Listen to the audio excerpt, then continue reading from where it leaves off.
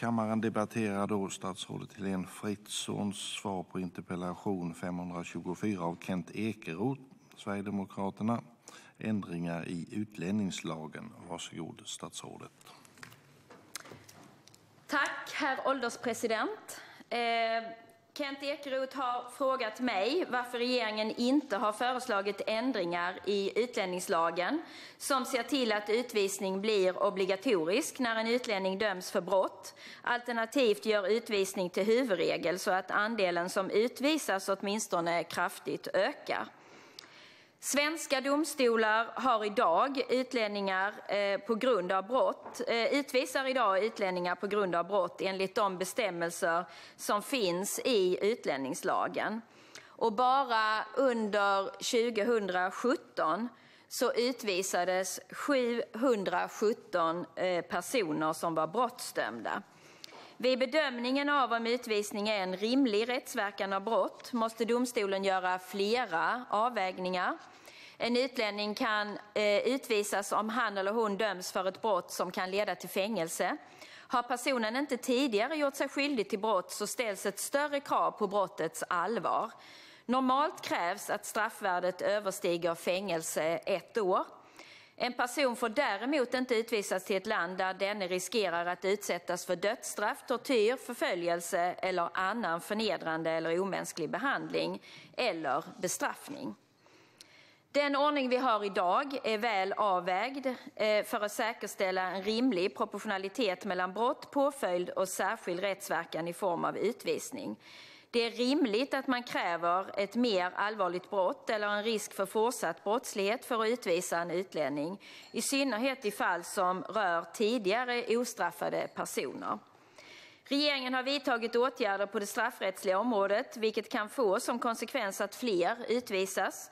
Till exempel kommer samtyckeslagstiftningen att medföra att fler övergrepp kommer att bedömas som våldtäkt. Därmed kan straffvärdet bli sådant att åklagare kan yrka på utvisning.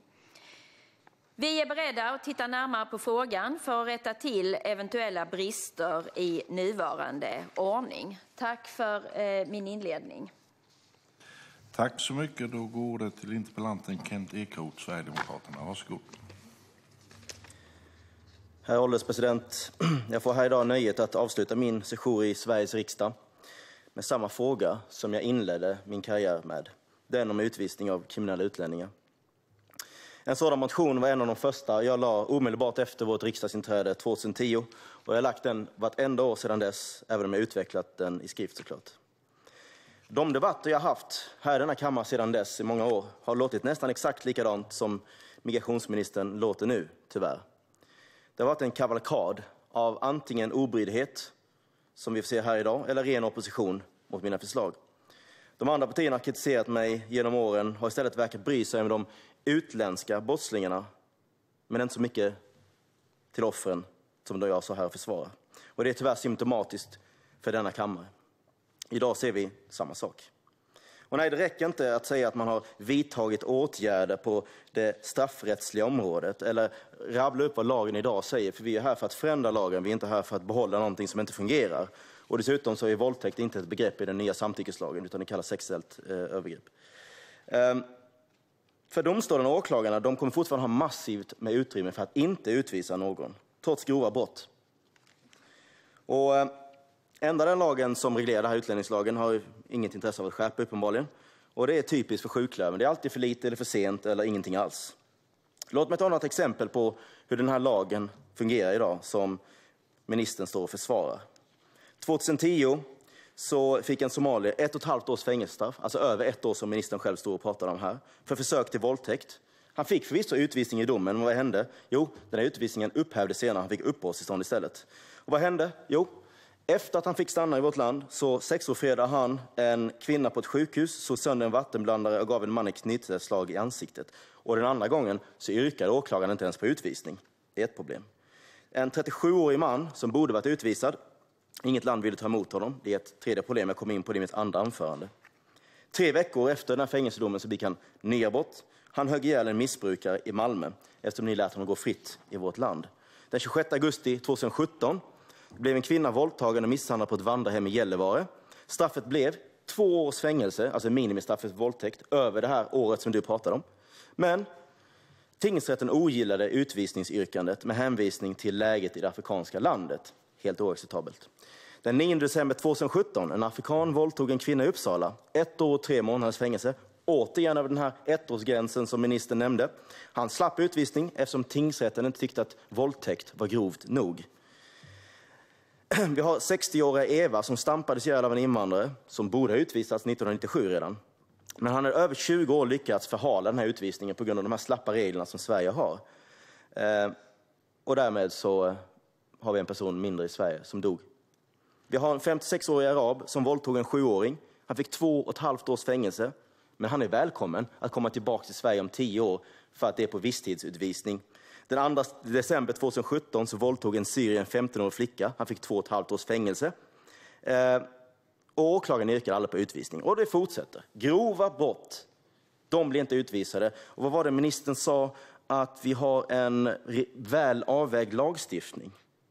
Det går ju inte rimligen att försvara en lagstiftning som låter de här monsterna stanna i vårt land. Och hur denna regering, alltså Alltså, det förvånar mig inte att regeringen står och säger att det är en väl avvägd lagstiftning. För det, det, det är ju ingen nyhet de här fyra åren. Det gjorde ju justitieminister Morgan Johansson när han var migrationsminister också. Och det gjorde alliansregeringen också för den delen. Det finns ju bara ett parti som har försökt göra någonting åt saken och det är Sverigedemokraterna. Och det är tyvärr beklagligt för att ni låter de här monstren härja fritt i vårt land.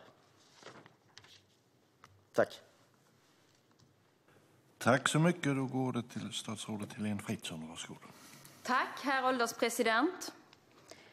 Kent Ekeroth inleder eh, sin interpellationsdebatt med att berätta att han har ställt samma fråga när han inledde sin riksdagskarriär eh, som han gör idag. Och låt mig då ta tillfället i akt och redovisa att i sakfrågan har det gått en bet betydligt bättre utveckling än vad det har gjort för Kent Ekeroths riksdagskarriär.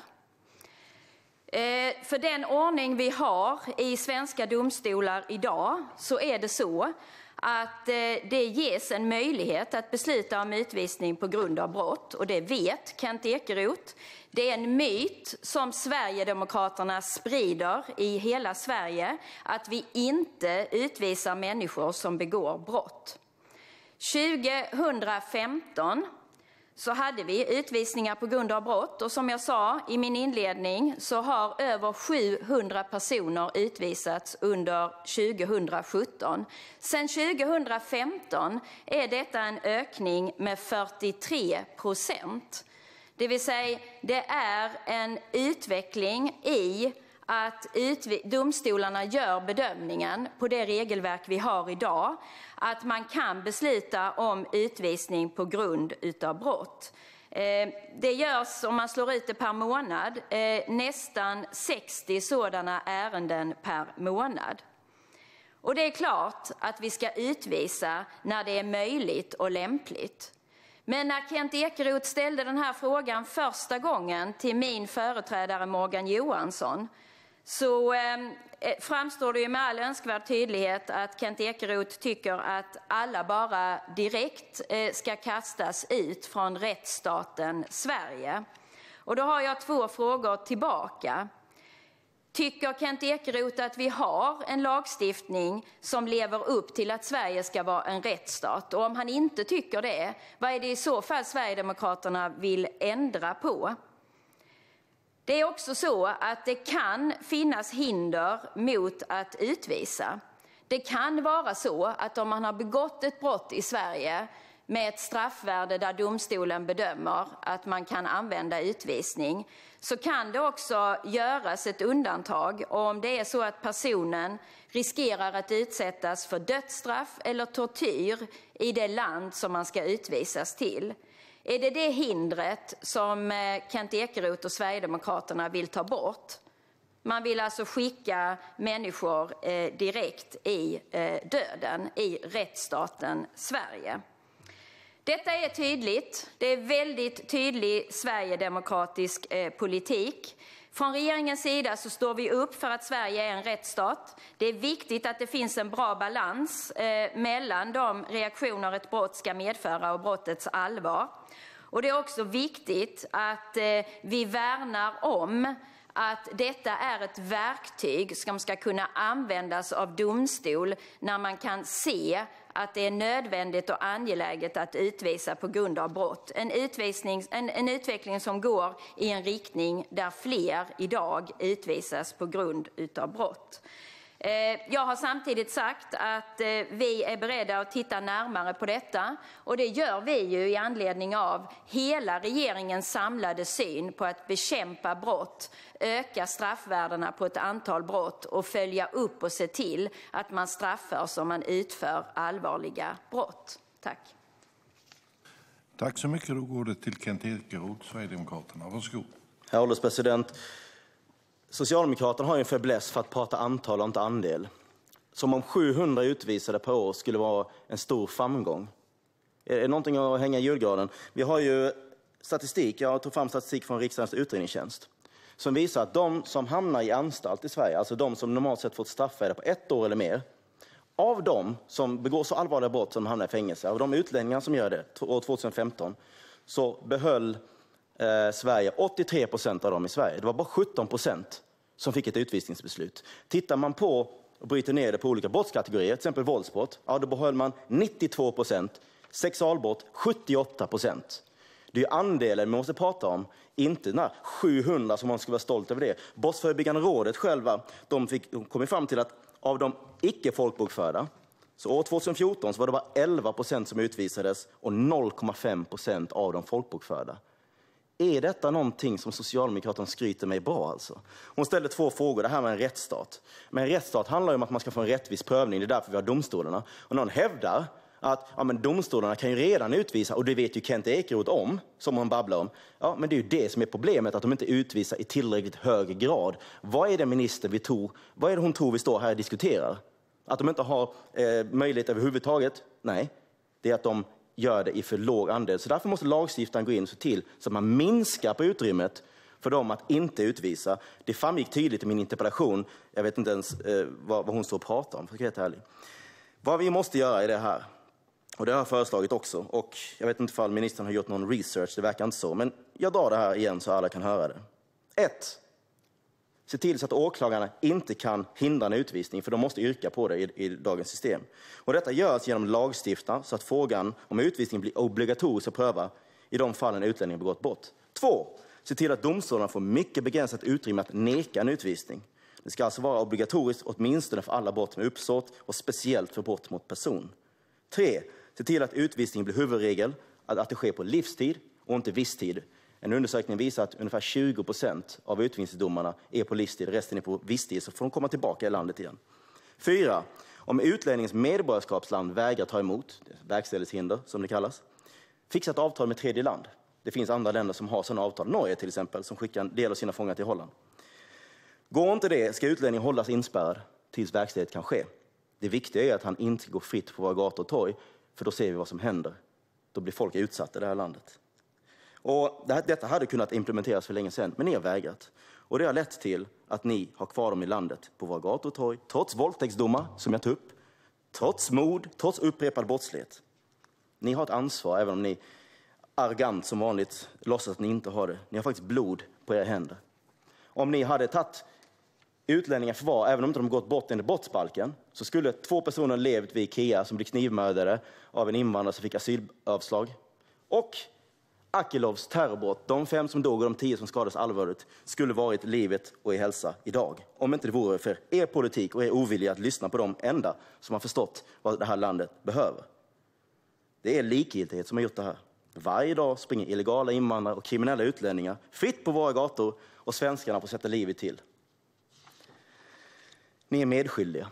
Och i en rättvis värld så hade ni också fått ta ansvar för det ni gjort mot detta vackra land och folk.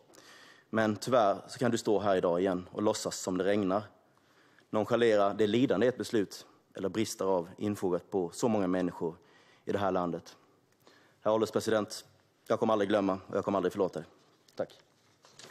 Tack så mycket. Då går det till statsrådet Helene Fritzon. Varsågod. Tack, herr ålderspresident.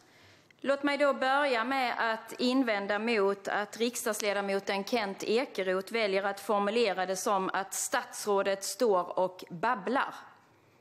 Jag tycker inte det är värdigt. Statsrådet infinner sig till riksdagen för att svara på frågor som ställs av riksdagsledamöter.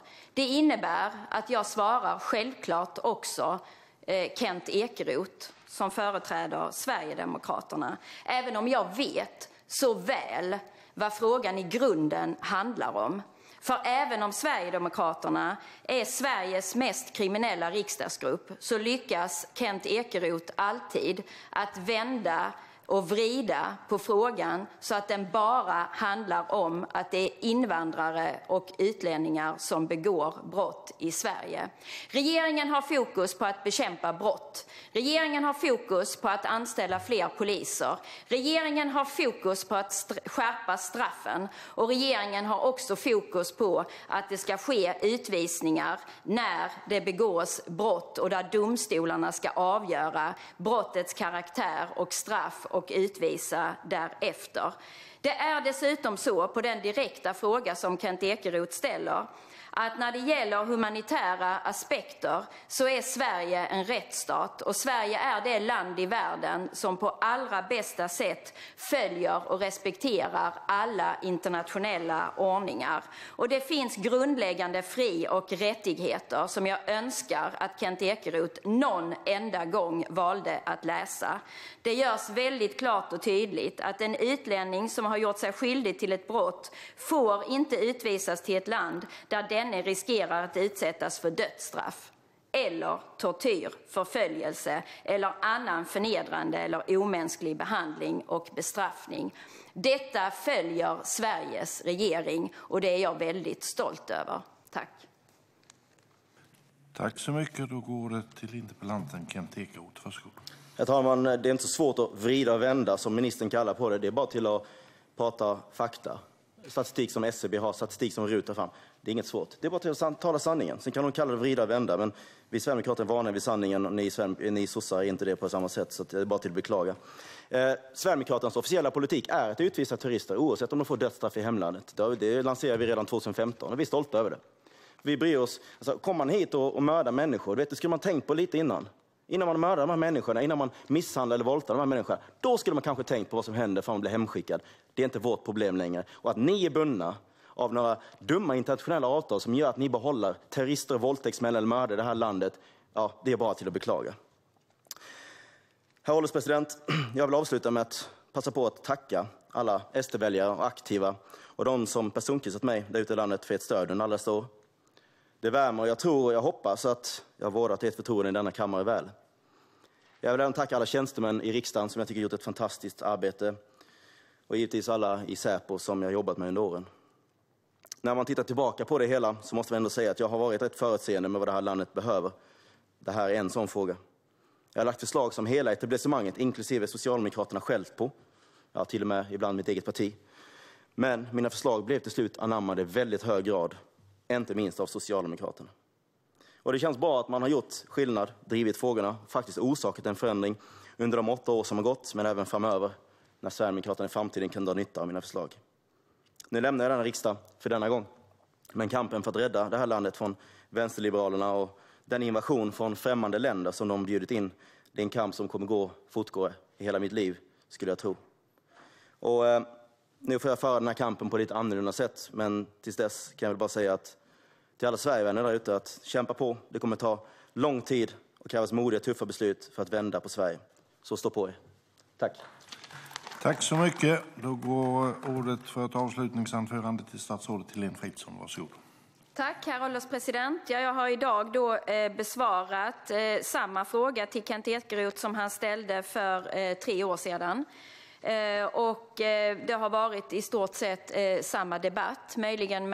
Med, med den slutsatsen att eh, om man är för att man kan utvisa personer som direkt eh, utsätts för dödsstraff så är ju den rimligheten att man också då argumenterar för dödsstraff i Sverige. Eh, det kan ju inte vara någon skillnad på brott som begås av människor som är födda på ena stället eller andra stället. Jag har haft anledning, och det är jag väldigt tacksam över, att få redovisa regeringens arbete med att upprätthålla en ordning för svenskt rättsväsende där vi tar hänsyn till de internationella överenskommelserna och konventionerna. Eh, vi följer dem och vi följer också utvecklingen väldigt nära för att brott ska beivras och utvisningar är en viktig del i att fullfölja eh, det straff som är rimligt när domstolen avgör att ett, eh, ett brott och en, en, en straffpåföljd kan vara grund för utvisning. Eh, så tack så hjärtligt för den här möjligheten idag att få besvara frågan. Tack. Tack så mycket. Debatten med anledning av interpellation 524 av Kent Ekeroth, ändringar i utlänningslagen, är avslutad.